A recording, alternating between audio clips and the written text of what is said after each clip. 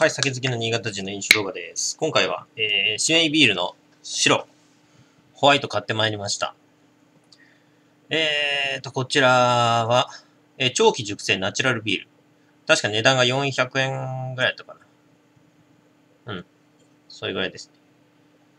えーと、アルコール度数8%、原産国がベルギー。原材料が大麦麦芽と小麦麦芽とホップと糖類。えー、醸造元が、えー、スクールモン修道院となってます。えー、指名トラスピストビール、過去ホワイト。えー、ノーブロンド色、アロマの効いたホッピーでドライなホワイトはスポーツの後のリフレッシュやアペリティフに最適。ご賞味前に6度から8度に冷やしてどうぞ。冷やしました。それでは、ね、ブルー飲みましたが、こっちはどんな感じなんでしょうか？あ、間違えた。まあ、いいか。このグラスじゃなかった。あの、なんだ、ワイングラス的なやつで飲んでたんだった。まあいいや。なんか泡があれだな。泡がちょっと茶色いですね。しめい、しめいホワイト。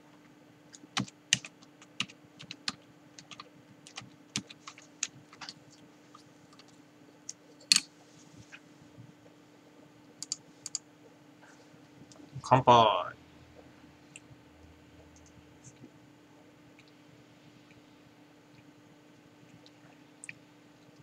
うん。えー、指名トリプル、各ホワイトの特徴。ややオレンジがかった濃いブロンドでアロマの効いたホップをふんだんに使用しており、やや苦味を帯びた、えー、俊敏なドライさが特徴のビールです。喉の渇きを癒すのに最適なビール。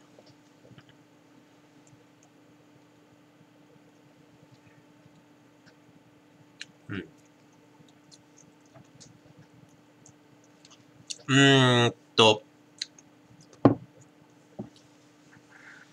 すげえホップの香りっていうか味がすごいですね。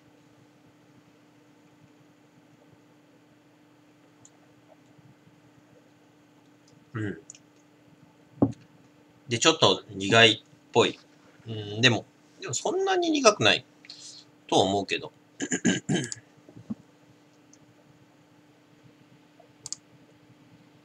うん。この指名ホワイトは、えー、通称トリプルと言われてて、他のビールの3、4倍のホップを使用しているため、ホップの芳醇な香りが強く、味は苦味走ったキレがある。だって。うん、あ確かにあの、香りっていうか味がすごい。ホップって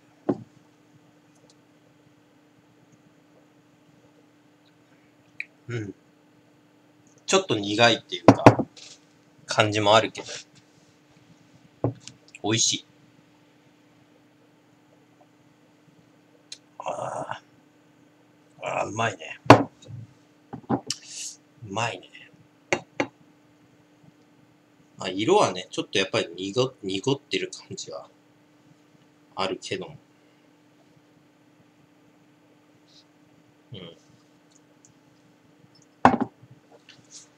うん、まあ、ブルーよか。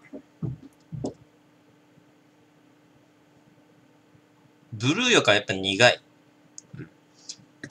香りも強い。ブルーはどちらかというと結構おとなしかった感じ。だけど、コクがあった感じだね。うん。こっちはちょっとコクがあんまりない香りに、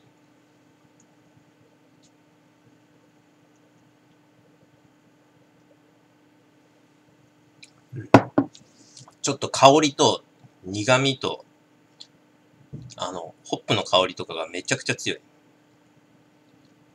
うん。えっ、ー、と、ウィキペディアで見ます。えー、中世からビール自体の生産を行われていたが、えー、トラピストビールとしての生産が指名醸醸醸造所にて始まったのは1862年からとなっており、当初は地域の失業者を雇用する目的であったと伝えられている。1876年からチーズ製造も行うようになった。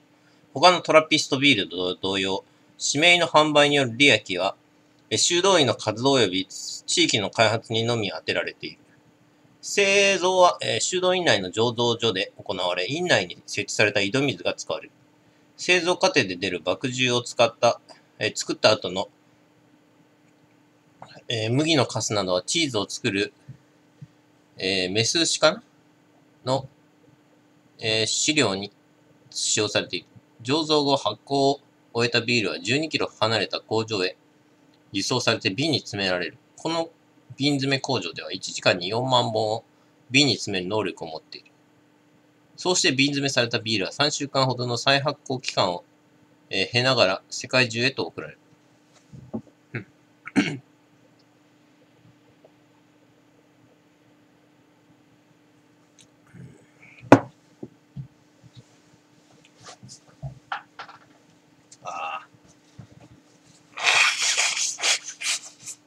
うまいね。うまい。これはやっぱうまいわ。うん。そう、いろいろね、あの、外国のビール買ってきたんですよ。あの、指名ビールだけじゃなくて、有名なね、あのビール。まあ、有名なっていうか、俺がなんか、有名だな、これっていう感じの外国ビール。なんかよく見る外国のビールつ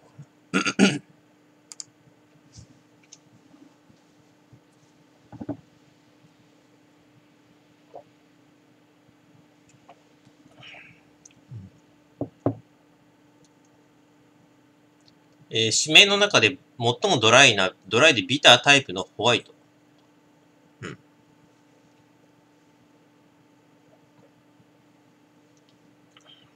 ドライでビターな味わいか。確かにドライっていうほどドライかどうかはわかんないけど、まあ苦いっていうのは確かにあるね。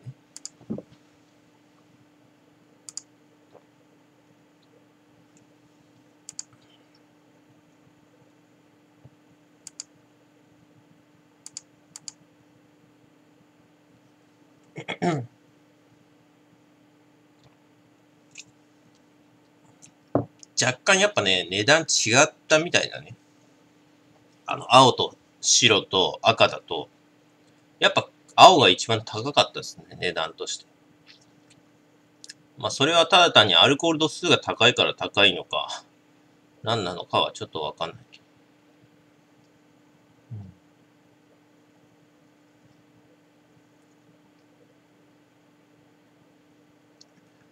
まあでも、指名ブルーの方が個人的に美味しいかなと思います。うん。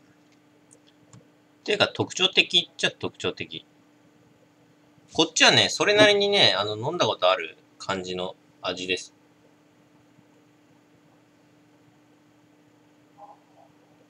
まだブルーの方が、あの、飲んだことない。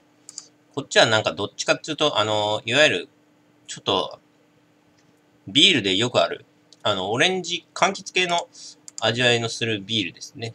うん。これはね。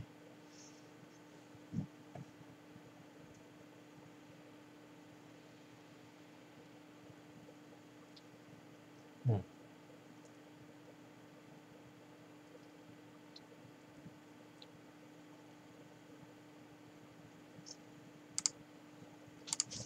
ということと。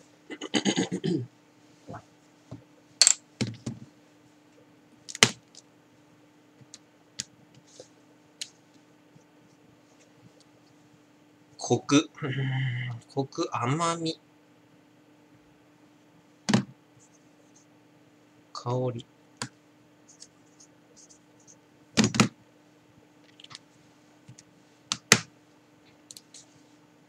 まあ個人的にこれは、まあ値段も高いんで、別に、まあそれなりに、あの、ありきたりっちゃありきたりな味なんで、えー、2253でご視聴ありがとうございました。